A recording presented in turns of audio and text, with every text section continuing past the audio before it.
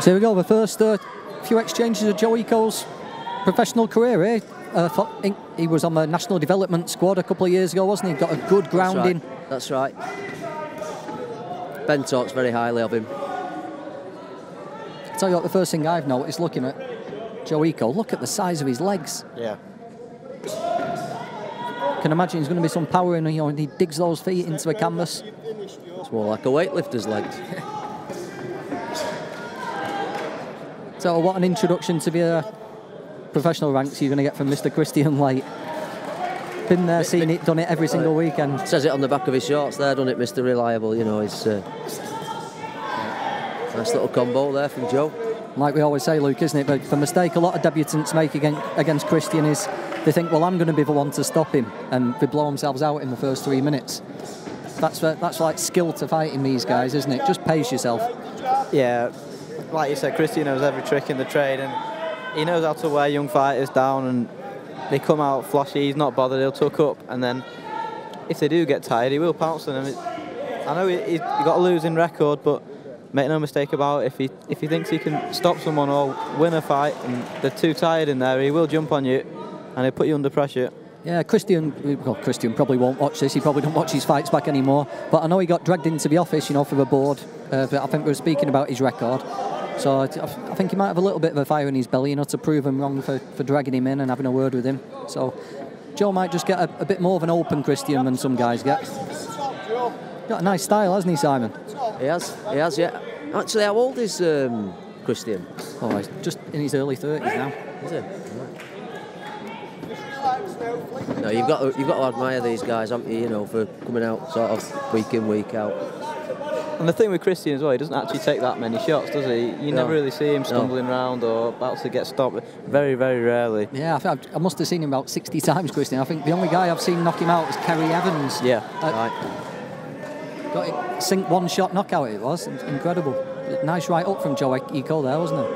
Well, he's, he's turning round and round, isn't he? He's, uh, he's, he's, on, he's right on his toes, isn't he?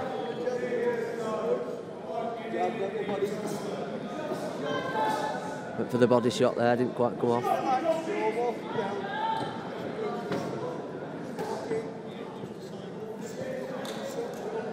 Yeah, nice loose style, hasn't he? he elusive, moves his head. Reminds me a little bit of uh, Omar Duzeri, who's here behind us tonight. so. You know, from just up the road. Similar build, isn't he? Similar style. Nice right hand to the body. And another one. Kristian smiling there. but I bet he must have felt that one a little bit.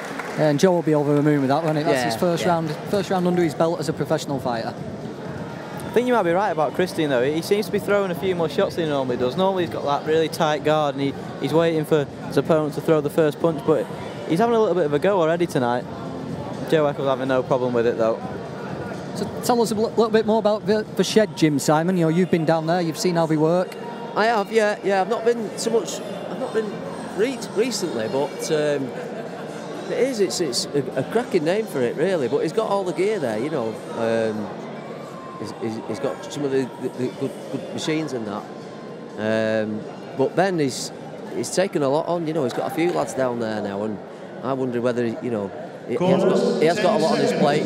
Hopefully, it's not too much for him, but especially with, with Danny looking so promising, you know. Round two. But yeah, I mean, it's uh, it does what it says on the tin. Really, it's a cracking little place. They're the best boxing gyms, aren't they? The ones you- Wow. where it is just basic and you've, you've only got what you need. Yeah, and it's like total comparison to like I was at Ricky's at Ricky Hatton's the other week, and obviously there's that's all- all singing, all dancing there. You know, all brand new stuff, totally different.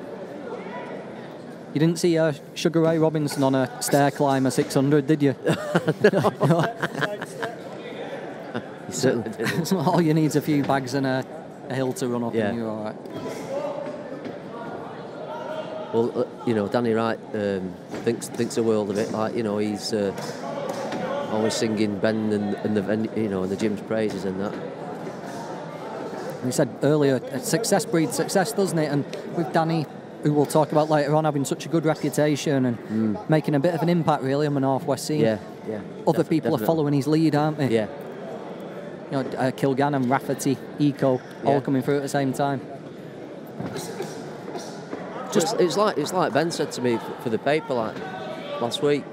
They were they're having trouble getting opponents in the amateurs, you know. So, and it's like, what, why is that happening? I mean, you you you're more kind of experienced in this than, than me, John. What, why why why is it that they, they can't match him up in the amateurs so much? You know, why are they having trouble? Oh, There's no money in the amateur game, is Well, there? yeah. And uh, why take on a dangerous thing for no money, I suppose? And if you're in Joe Eko's position, why not take a go? You know, you're obviously gifted, you've got a talent for something. Yeah, Why not have a go? You, you don't want to be left wondering, do you, when you get to your mid 30s? Give it a go, see what happens. yeah. Nice style here, Joe, hasn't he? Switch it in. Kristian just slaps it. Laugh just laughs, yeah. Calm, he's calmed it down, hasn't he? Just taking the power off his shots and just looking to land.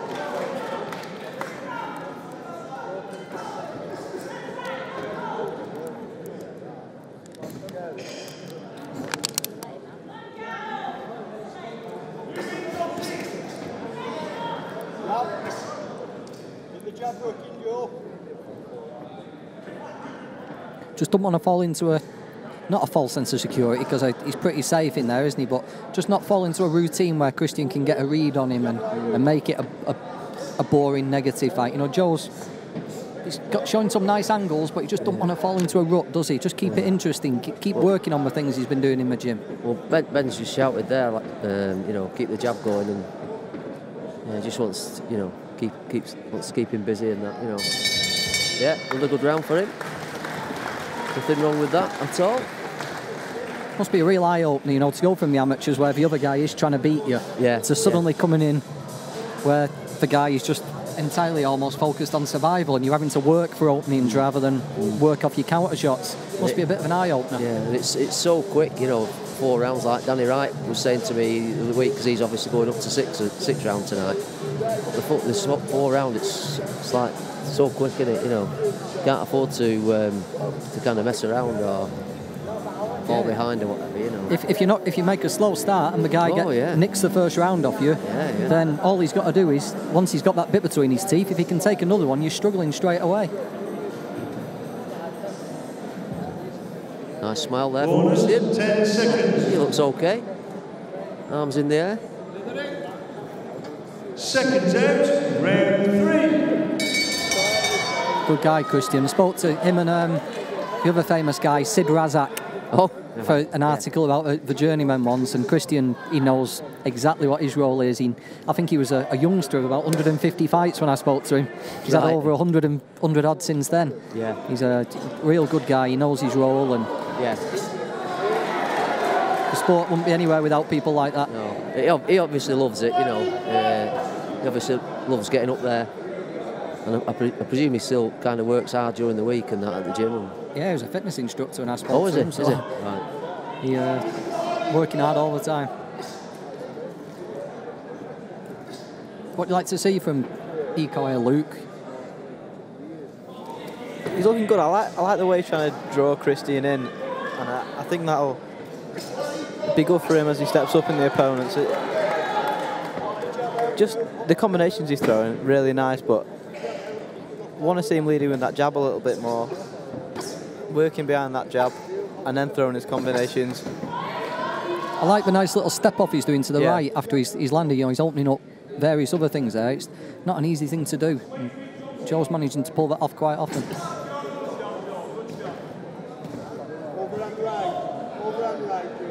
Very elusive, isn't he? He's got that style.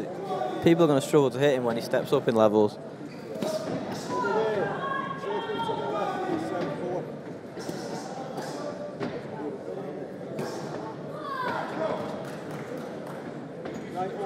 You can see why he's decent amateur, can't you? You know, he's got that style, hasn't he? Hit and not be hit. He's very, very mobile, isn't he? Yeah.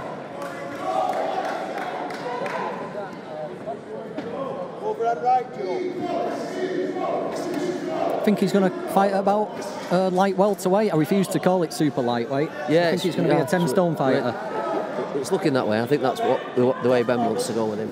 Certainly. It's a fantastic division at the moment, isn't it? Although it does seem to be sorting itself out, doesn't it? You know, recently we've had O'Hara Davis and um, Robbie Davis Jr. both get knocked off. We've got uh, Tyrone Nurse and Jack Catterall going to be fighting. And the cream does slowly rise to the top, doesn't it? But 140 pound division's thriving in Britain at the moment. Real good, good, good quality fighters. Yeah, and Tom Farrell's got his chance now as well, hasn't he, in Liverpool against O'Hara?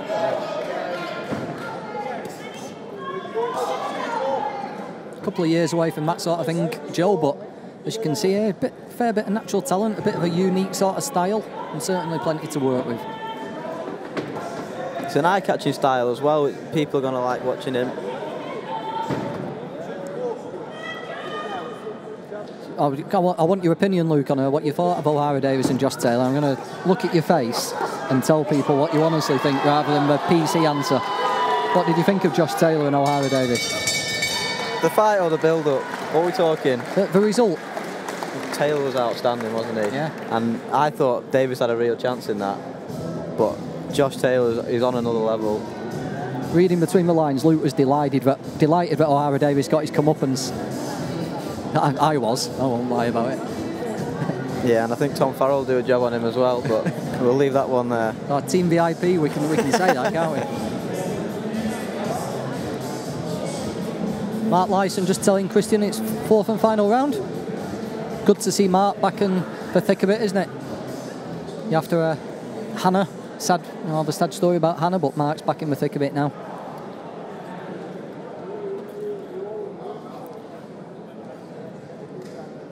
Corners, 10 seconds.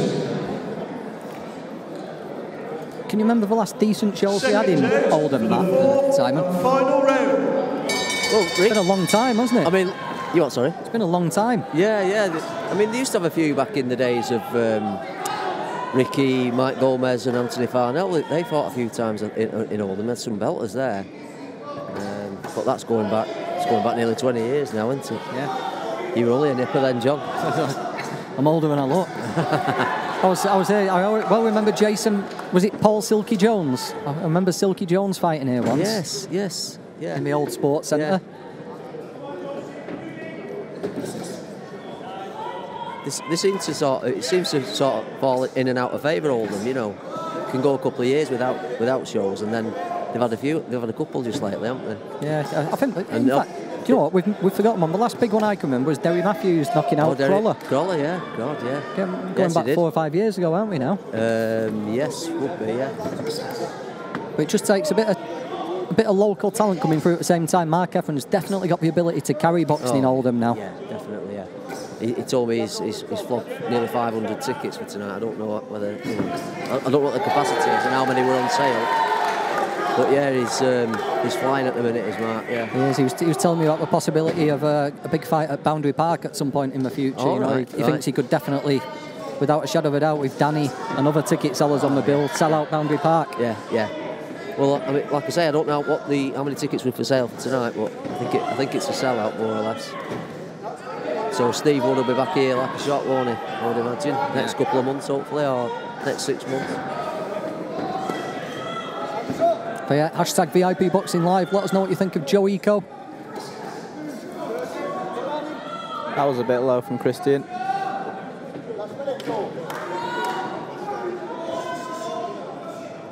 Danny Wright just in the crowd there before he goes over and gets wrapped up watching his uh, gym mate in action. Got caught with one or two, Joe, but he's, uh, he's, he's still okay in there. Yeah, oh, Kristian's- Again, again there, yeah. Just put his, let his hands go a little bit this final round, hasn't he? A couple of straight rights. Yeah.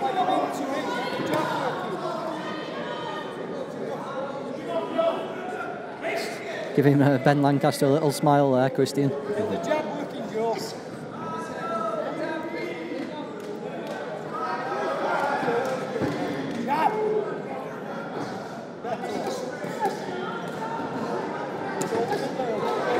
Good shot. Just looks to be tiring a touch, uh, Joe, I, I- think. You might be glad to hit last bell. It is. It, I think for all these lads, it is a bit of a surprise and a bit of a shock to the system the first time you, you're fighting professionally. Yeah. Right. There we go. But he's in the winner's column on his debut, isn't he? He'll be over the moon with that. Yeah, definitely. They'll be buzzing.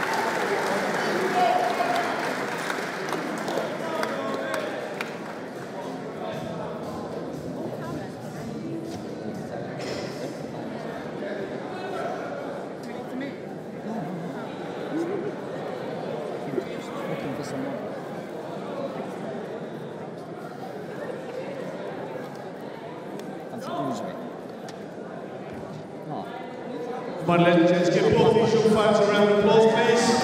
Especially Kristian on his 270th contest tonight. After